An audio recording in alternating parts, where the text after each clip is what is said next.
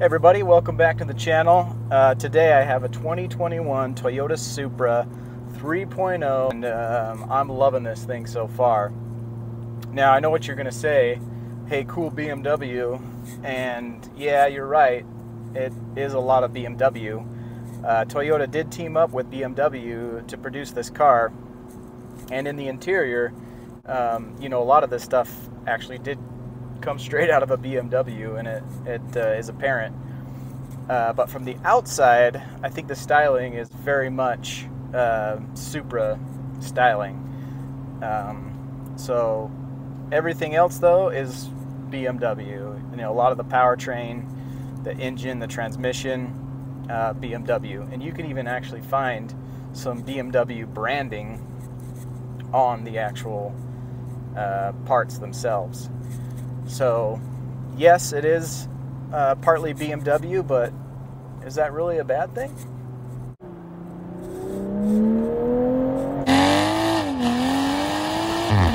Oh gosh, this thing pulls, man.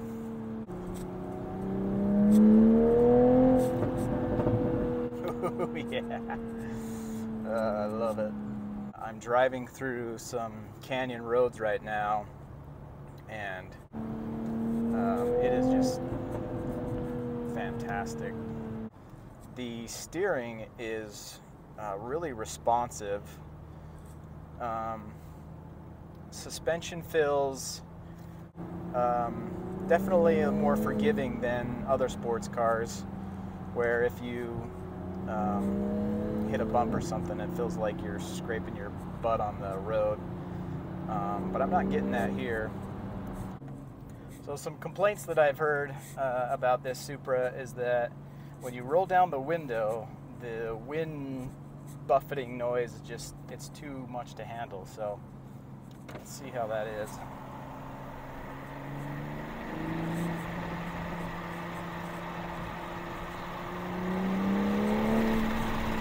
Ooh, yeah. So I'm gonna try and roll down both windows and see what that's like.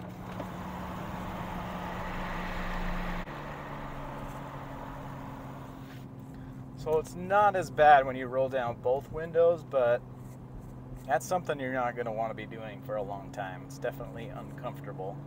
With one window down, yeah, you, that is just unbearable. Two windows down, uncomfortable. So check out this really cool display when you're in sport mode. Um, you can actually show the horsepower and torque. Show what it can do here. So the MSRP on this car is around 55, 60-ish if you can find one that a dealer hasn't marked up. Now I was looking uh, online at like Carvana and stuff like that that you can find one of these gently used for around that price range. So I mean you're getting a decent value here and this is just a great sports car. I think this is for the person who really wants to, you know, take it out on the weekend, enjoy it, uh, maybe even take it out to the track. So it's really more of a, a plaything than it is a daily driver. Now I'm sure there's, uh, you know, some teenage boys out there that are daily driving this, and sure, it's probably great for them. Um, but it's not practical in that sense that you want to drive it every day. I mean, there's not even a back seat in here, so you really can't transport anybody.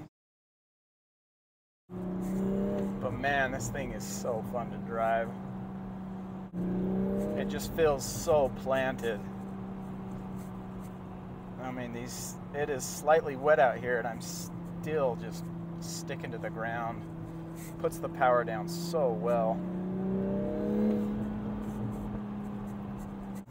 And when you're in sport mode and you give it a downshift, it'll give you a nice little blurb on the exhaust.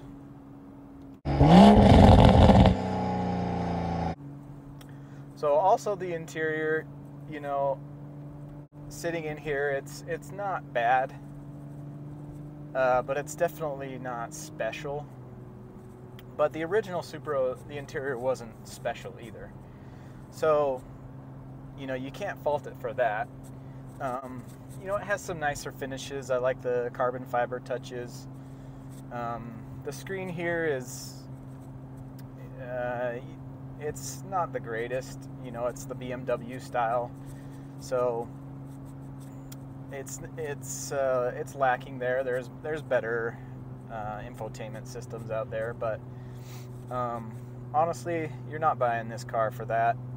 You're buying this car because it's fast and it's fun.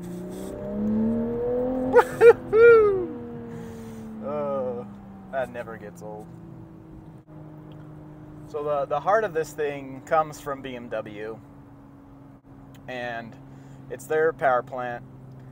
Um, you know, people really wish Toyota would have put their flair on it, and I agree. Um, it would have been fantastic if they would have just, um, you know, built this from the ground up. And I get why they didn't because, you know, this is a limited production, right? This isn't a huge moneymaker for them. So it's understandable. Um, from the exterior, you know, it screams Supra. I think the styling looks great, and uh, I think it's definitely a, a throwback to the original. However, everything else screams BMW. So, like I said before, not necessarily a bad thing, but you know, purists might feel differently. All right, everybody, let me just sum up my thoughts here. So, I have thoroughly enjoyed the Supra. I really think it is a true sports car. It was a blast to drive. Uh, the speed, handling, acceleration, the noise it makes is just fantastic.